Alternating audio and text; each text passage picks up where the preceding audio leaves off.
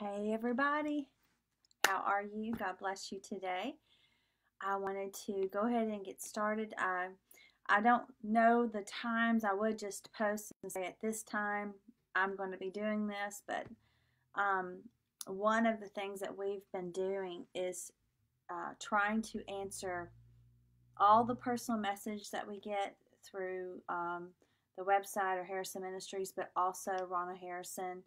Um, we get phone calls from different um, friends and pastors, and and we're all c- trying to connect and um, use the prophetic to discern uh, and navigate through these types of waters because you know we've never been here before. Um, the place, well, we I haven't since I've been alive. I've never seen um, what's going on in our country to the the level that it is. So um, I wanted to just do my part and encourage you and let you know. One, like I said before on one of my videos in the past, is one of the things that I learned standing in the hallway of a hospital uh, back in 2015 when my father had passed away for eight minutes was in the middle of what I call that now moment. You know, that moment that takes your breath away, there's no one around, and you have that second to decide what, what you believe. And what you believe and what you know at that moment, that is what comes out your mouth. You know, people used to say all the time, I know what you believe by what comes out your mouth. That's what they're talking about. So I call that the now moment. and so in my now moment, when I was standing in that hospital room, I remember, or hospital hallway, I remember that feeling of the end, nothingness, the, the pain, the separation of how did we get here? What are we going to do now? All those emotions were there when I was standing in the hospital back in 2015. But what really ministered to me, God is faithful. God is so faithful. I was talking to someone last night. You know, the Bible says if we seek, we will find. If you knock, the door will open. And so our jobs right now is to seek and to and to knock, right? But when I was in that hallway, I remember thinking, as terrible and as scary as this situa- situation is, and it feels so final. I'm talking about my situation back in 2015 when dad was um, in ICU. I remember thinking not one word of the Bible had changed. Not one word not nothing in the word had had uh, moved. It was still the same. He said he was still the God that healeth thee. He said he was still uh, the same yesterday and forever. He was he was still Jehovah Jireh. Not nothing in the Word of God had changed. And you know what? That really has ministered to me over and over and over again because it doesn't matter what's going on around us. Aren't you aren't you so grateful and thankful that his word is just as powerful, just as true. It's just the truth. There is no other. It is just as it's right here. It's available to us, and um, it works. The word works. How's everybody doing? I see people on here from all over. Uh, Colorado's on here. Uh, Texas, of course, is on here. Kansas is on here. All types of people. There's people on here. I'm not sure um, uh, if I know exactly where you're from, but thank you for joining. Thank you for sharing. You can contact us at harrisonministries.com if you need us uh, for prayer or, or anything. You can also uh, on this page, Harrison Ministries International can also um, contact us here, a personal message, and we want to um, uh, pray with you. We want to encourage you. We want to speak the word. We want to take this time to be the church of Jesus Christ. Um, one thing that has happened since we've been doing these videos is I had a very sweet friend that I haven't seen in years, but has known me for many, many years, uh, personal message me uh, today. And um, because of these videos, someone, I guess some she had uh, seen it or sh- someone shared it or something like that. Anyway, let's get into Psalms 91 just for a few minutes. Um, uh, again, Psalms 91 is the staple scripture that everyone is using um, to speak over their family, speak over their houses, speak over their communities, and and it's for good reason. It, Psalms 91 says it all. It does it all. It says it all. It's a powerful, powerful chapter. And every day that I get on here and do this, I'm going to remind you what makes this chapter so perfect, so powerful, is that it starts off in verse 1 He that dwelleth. Um, I've continued to say this, I'm going to continue to say that, but dwelling, if you study it, and I, I encourage you to do so, I encourage you to, to take this time where you maybe have some, uh, you're not going to work or your life has changed for a season. This is a great time to, to spend some time in the day on studying his word. But I so I encourage you to study that word dwelleth. It means to continue to exist. It means to remain in him. It means when everything around you is troubled, it has been touched, or it looks like things are falling apart, or things are changing, or things are or there's difficulties, or there's fears around you, or there's all these things around you. It is saying to continue to exist in what the Word of God says. Doesn't matter if it's about the coronavirus or if it was just a normal day and it was something else. Doesn't matter what you are facing. That when we dwell, when we continue to exist in what the Word of God says over that situation, we will be victorious. You got to understand there's something very powerful about truth. Truth by itself doesn't set you free. You understand what I'm saying? Truth by itself doesn't set you free. When I was growing up, I grew up Pentecostal non denomination, and they would preach and spit and scream and shake and, and holler. And I listen, all of that.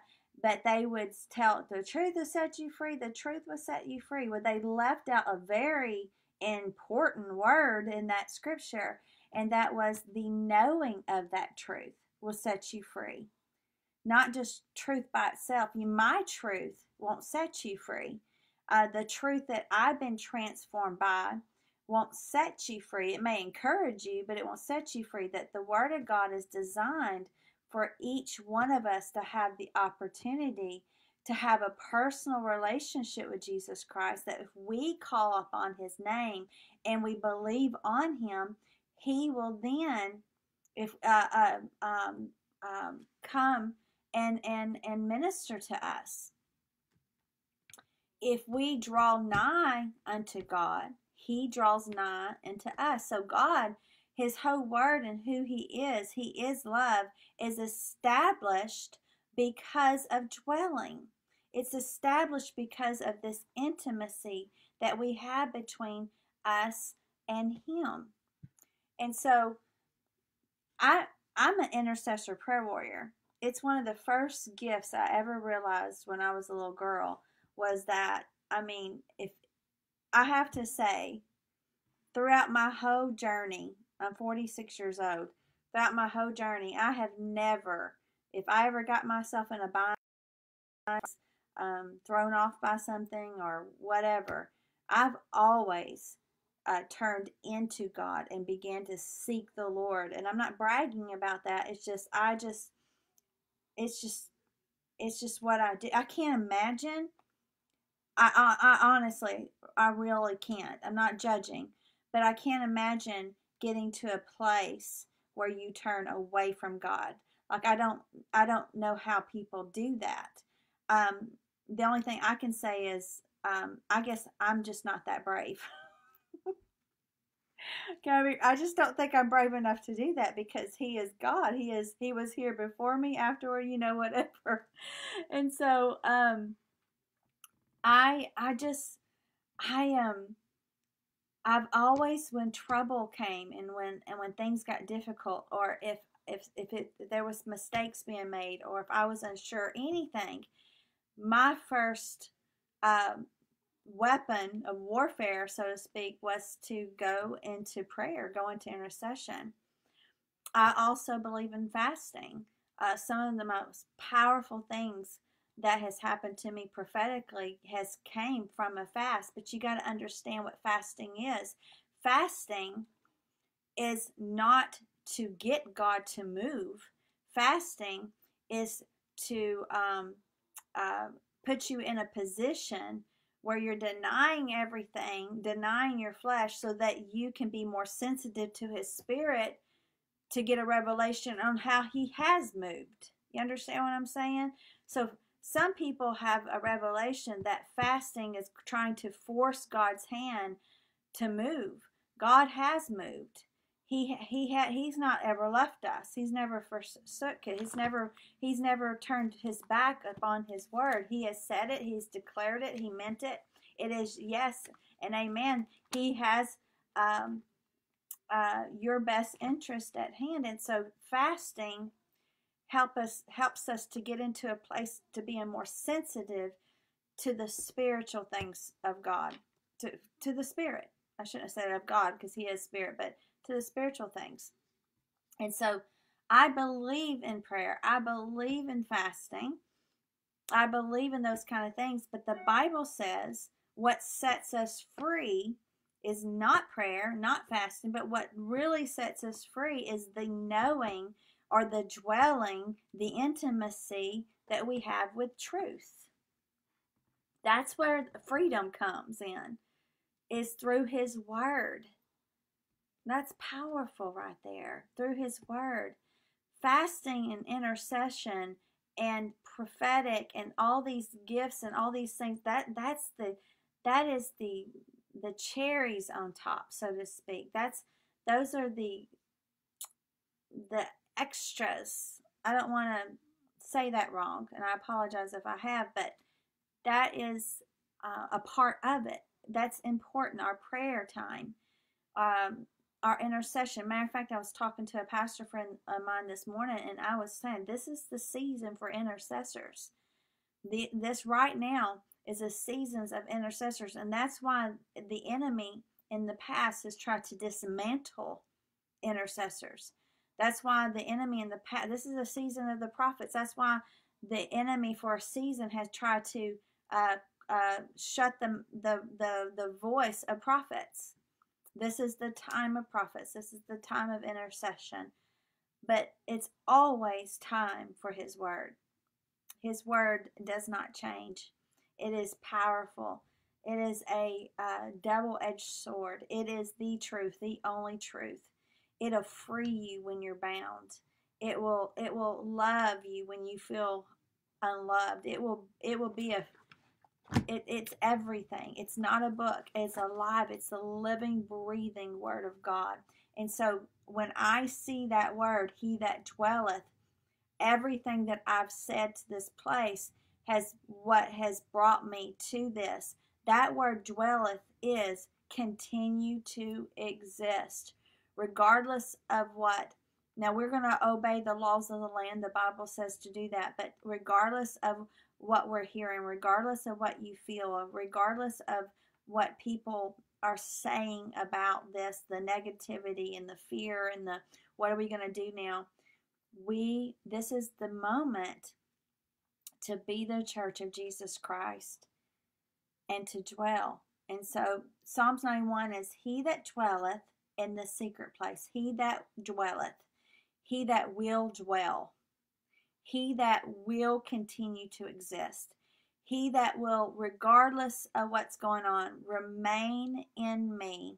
He that dwelleth in the secret place of the Most High shall abide under the shadow of the Almighty. Verse 2, this is the beginning of from 2 to 16. It is a prophecy, it's a declaration, it's a it's a place where it says, okay, now that you've made the decision to have a relationship, not just to say you know God, not to just to say you love Jesus, but to be about it is now you can open your mouth. The Bible says Proverbs and in 1821 says death and life are in the power of the tongue. Uh, it says, I will say of the Lord, He is mine. he is my. Come on, somebody, everybody out there, if you're with me, there's there's a few of you still on here. He is mine. Get that in your spirit. You know, there's been times I've walked around my house and I've muted the television and I've said, You're you're mine. You are mine. He is my refuge, my fortress. I take ownership of this word. I'm dwelling, I'm dwelling, I'm dwelling. I take ownership of this word. I will say the Lord, He is my refuge, my fortress, my God. Is He your God? He's my God. In Him will I trust. In Him will I trust? We appreciate everything that our president's trying to do. We're going to, matter of fact, we are going to pray for strength of our president and of our vice president and over all the people there that's working day and night uh, to help us. We're going to pray over our our medical people, our doctors, our nurses, our nurse practitioners, every, all of our um, emergency services, our military. We want to keep them in our prayers. We want to speak uh, life over them, right? I will say of the Lord, He is my refuge, my fortress, my God. In Him will I trust. Surely, surely He shall deliver thee from the snare of the fowler and from the noisome pestilence. That remember we was talking about He's going to deliver you not only from the trap, but the the the who is trapping you the trapper. That's what that verse is talking about. Not only am i going to deliver you from the trap but i'm delivering you from the trapper okay? Um he shall cover thee with his feathers. Remember we talked about that? He is weaved together. He is weaved together and he will cover thee with his feathers. And under his wings shalt thou trust his truth. Right there. There it is. We have to trust his truth. There is no other truth. Hear me. There is no other truth but everything out of, the, out of the mouth of God. The Bible, let every man be a lie, but let the word of the Lord be truth. There's only but one truth. Everything else is fact, opinion, false, lies. There's only but one truth, and that is out of the mouth of God. So he shall trust his truth, shall be thy sh- shield and buckler. He's got you covered. He has surrounded you with protection when we dwell complete surrounding with protection we dwell. I want to look at verse 5 real quick because one of the things that I, when I look at verse 5 and 6 here, he's saying, Thou shalt not be afraid for the terror by night, nor for the arrow that flieth by day, nor for the pestilence that walketh in darkness, nor for the destruction that wasted at noonday. Those are round the clock. the enemy's busy. Is what I read that. He is busy, busy, busy. You know, he's he has got things going uh, at night, day, noonday, in the dark times. But anyway, let's go back to um, uh, verse 5 here. Thou shalt not be afraid. It that's a, that means what it means. Thou shalt not be in fear. Thou shalt not be in fear. You know, when you pray, The Lord says when you pray, pray believing, believing in Him, you shall have it. I know sometimes when we pray, depending on sometimes who the person is or depending on what the situation is, sometimes I know I have. I have prayed in a place of uh, being conformed and praying, hoping that God does what He says, or praying that God will do what He says, instead of praying knowing that He is true to His word and that all I have to do is step into that place of believing on Him and then watching God move His hand in a situation. But He's saying, do not be in fear. Do not be in fear. God has not given you, given us a spirit of fear. He has not given us a spirit of fear. So he says, Thou shalt not be afraid. And he's saying, those that are dwelling, those that are hidden in him, there will be no reason for you to be afraid. Thou shalt not be afraid for the terror. Um, that word terror means there, thou shalt not be afraid or be in fear of the things that should cause you to dread. This there are things out here, there's things that's going on in, in this world that we're like, oh, I just dread this. I just dread that. If you're dwelling you are not to be in fear for dreadful things or or the object of that dread. Afraid for terror by night, nor for the arrow that flieth by day. We're not to dread, be in fear of anything that's piercing, wounding, um, thing, the trouble that seems to uh, keep moving uh, every day, every day. When you, we wake up, it's like a daily, what's wonder what's happening today kind of thing. So dwelling puts you in the place of reminding you what God has said.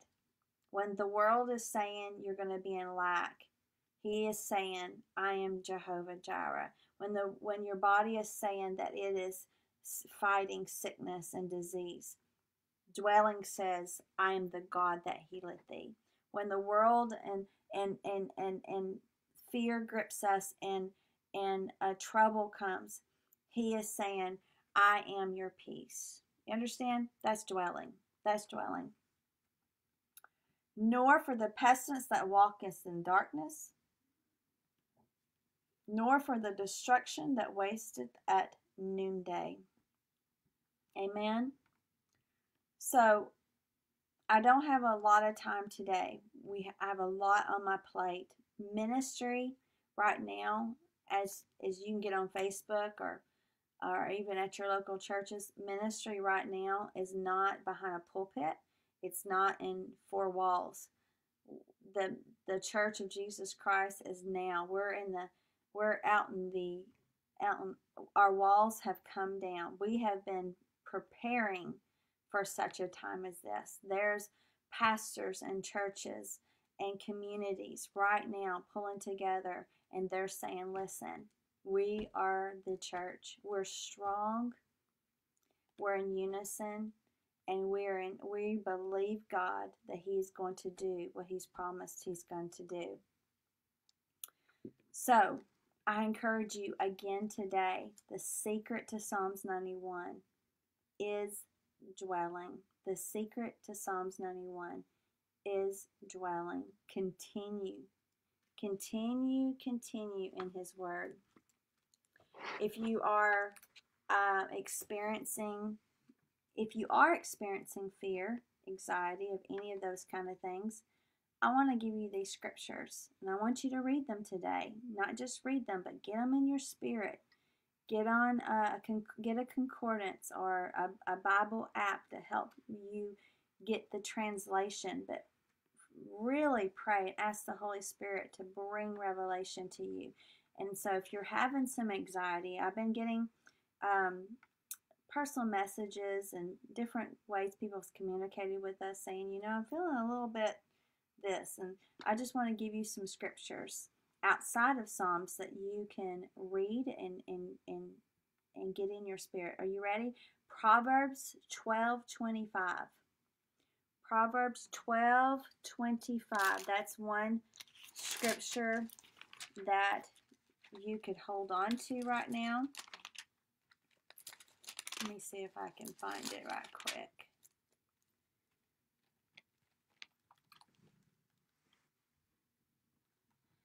It says, Heaviness in the heart of man maketh it stoop, but a good word maketh it glad. Amen. So the word of God. Also, First Peter 5 and 7. First Peter 5 and 7. Philippians chapter 4, verses 6 through 7. Also, John 14 1. And of course, Psalms 91. Psalms 91. Those are some some scriptures. Um, if you are wanting to study your Bible and you're unsure how to do that, or you feel like when you open the Bible, if you you feel overwhelmed, be sure and reach out to Harrison Ministries. We'll have someone to contact you, or we'll we'll we'll um, we'll do something to help you to study. Again, I want to tell you if you because you'd be surprised the people that um, I get asked that all the time. I'm, I'm unsure about how I study my Bible. If you're needing some scripture, say I don't know how to get to scripture. Remember, I told you, you know, if anything, you can Google. Be sure that you have a great translation of that word, okay? Um, but you can everything that you're in need of, every answer that you that you have is found in scripture. Another great scripture, uh, I call it one of my staple scriptures on my trumpet, is um, Romans 12, 1 and 2. And it says, And be not conformed to this world, but be ye transformed by the renewing of your mind. It's another scripture that's telling you, dwell. Continue in the Word of God. Another great uh, thing to do is to study the, the, the four Gospels of Matthew, Mark, Luke, and John, where you can see the testimonies uh, and the, the, the, the pattern of when Jesus walked upon the earth and the different things that um, it's great to see to see those kind of things there. Trying to, I'm trying to think. Is there anything else?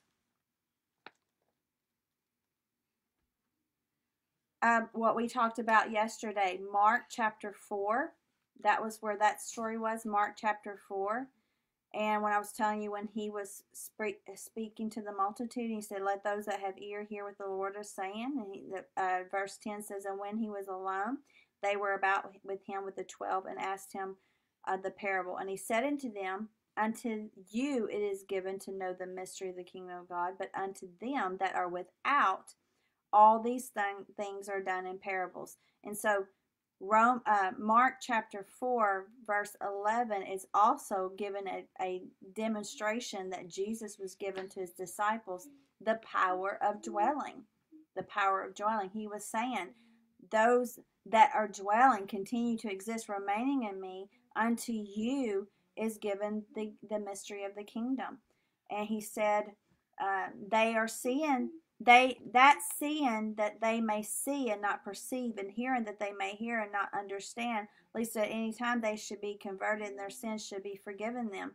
And he said this, and I love this. I preached this one time, it's a powerful. And he says this, and he said unto them, Know ye not this parable? Then how will you know all parables? And he said, The sower soweth the word. He's saying right there again in Mark, dwell Bef- the sower soweth the word. Before we sow anything, we need to know what the whatever we're dealing with. We need to know what does the word of God say about your situation. Again, to me, when I read that, verse 14, Mark chapter 4, verse 14, to me, that's Jesus speaking, but he's telling them again in a different format dwell. Dwell. But see, you can keep doing this. You can just keep on and on and on doing this all through the Word of God.